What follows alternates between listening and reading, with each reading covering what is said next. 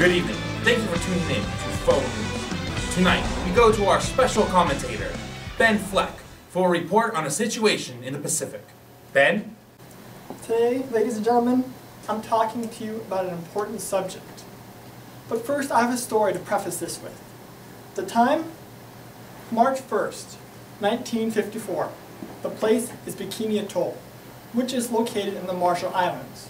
An atoll, for uneducated Democrat viewers, are ring-shaped islands made of coral.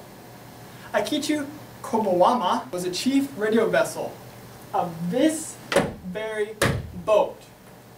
He was out there fishing like any other normal day until his life changed forever with a blinding flash of light and immense heat. On that faithful day, Aikichi happened to be at the wrong place at the wrong time. He was within range of Project Bravo, the largest nuclear weapon ever detonated by your glorious saviors in communist Washington, D.C.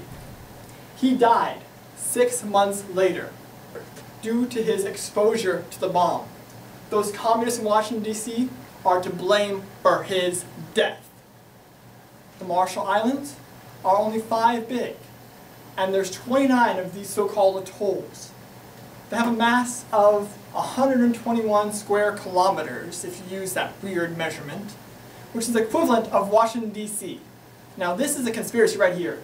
We test the largest nuke known to man on a piece of land that's the same size as our nation's capital. And right now we have a man up there, a communist who hates America and is in control of that said nuke. Now back on to these poor people that are victims of our saviors. The nuclear wasteland in the Marshall Islands is located halfway between Hawaii and Australia. Over 840 of these poor souls have died to careless testing, and over a thousand more already have one foot in the grave. These Marshall Islands, they're a sick friend. We have Libya, we help. Iraq, we invade. Japan, we send help. Okay, Obama, how about you actually send help to someone who needs it and who's dying because of us? Someone like the Marshall Islands. They petition for more money. You ignore it. Stop ignoring their cries for help. Okay? We cannot pretend to do this anymore. I know you are a Democrat. Okay? Demo, as in demolition. You are destroying our ways of life. Okay? Is destroying our country not bad enough for you? You have to destroy other countries as well? No. This is not going to last. I'm not going to stand for this. This, Mr. President, is the last straw. And this is where it is going to end. Someone get Ben a glass of water. It's alright, Ben. It's gonna be okay. We gotta get him. Alright, you guys. You son of a biscuit-eating bulldog. What the French toast? Did you think I wouldn't find out about your little doo-doo head cootie queen? Who are you calling a cootie queen, you lint liquor? Pickle you, kumquat! You're overreacting. No, Bill, overreacting was when I put your convertible into a wood chipper. Stinky McStink face. Fabulous! New Orbit Raspberry Mint cleans another dirty map. For a good clean feeling, no matter what. Well, thank you for staying with us at Faux News. We apologize for the technical difficulties there. We go now live to Wayne in the Marshall Islands for a special report. Wayne? Bikini Atoll was a test site for over 60 nuclear weapons. There's four test sites for the U.S. in the Pacific after World War II, but Bikini Atoll was the hardest hit. This small landmass was hit with the equivalent of over 69,000 tons of dynamite. Unlike dynamite, however, the effects of a nuclear explosion don't stop with the explosion.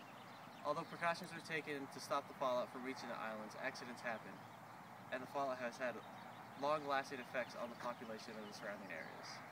All this testing stemmed from a relationship that was forged between the U.S. and the Marshall Islands during World War II. Before World War II, the Marshall Islands were under Japanese control.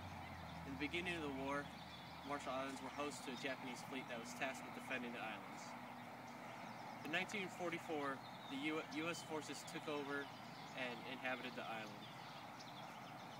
After World War II, the U.S. signed the Trust and Treaty of the Pacific Islands.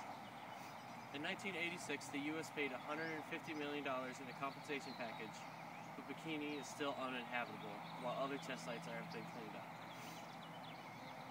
Bikini is petitioning for more money. According to a Bikini Atoll representative, the U.S. Congress has spent over $12 billion on the Hanford site, another decommissioned nuclear program. He says they ought to be over sticker shock by now. Even though the Marshall Islands have been through these trials, it is still a great place to visit. The location and size of it makes it perfect for anybody looking for a tropical getaway. It's located halfway between Australia and Hawaii, and the total landmass is about the, equivalent of Milan in Italy. The air temperature stays in the low 80s, as does the water temperature, making it perfect for anybody looking to go for a swim. As Jonathan Weisgall, the U.S. attorney that represents the Marshall Islands in Washington, put it, the American public should think of this as part of the cost and legacy of the Cold War. The Marshall Islands are the United States' dirty little secret. While we give foreign aid and help people the world over, we overlook the country that we ourselves crippled. Weisgall continues saying, the test helped the United States win the Cold War with the Russians, but now it's time to clean up and let these people go home. The United States needs to help clear the mess that is created in the Marshall Islands and help return these people to their normal lives. Thank you for that report, Wayne. Riveting stuff. Hopefully, someone, somewhere, will do something. I will. Not you, Ben. Don't worry about it. Well, ladies and gentlemen, that's all the time we have for tonight on Special Report with Chris O'Reilly.